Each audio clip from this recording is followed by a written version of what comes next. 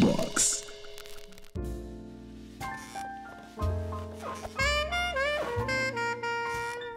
Bienvenidos al consultorio sexológico del Dr. X.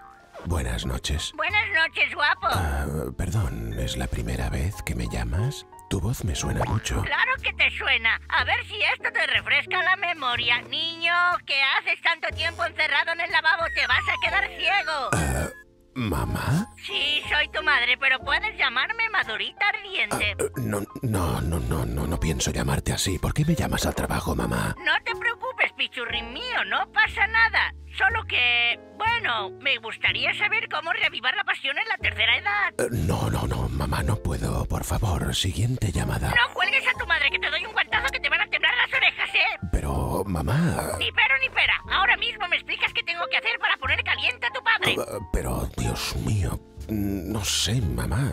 Esto... ¿Has probado con lencería sexy? Sí, me compré unas braguitas de cuero con tachuelas, pero me rozaban en el interior de los muslos. Y después también probé ese cacharrito que hacía cosquillas. Pero se le han terminado las pilas justo cuando estaba a punto de llegar al orgasmo. Oh, lo siento, mamá. Tengo que colgarte. ¿Siguiente consulta? Ah, hola, hijo. Te llamo porque tengo un pequeño problemilla. Ah,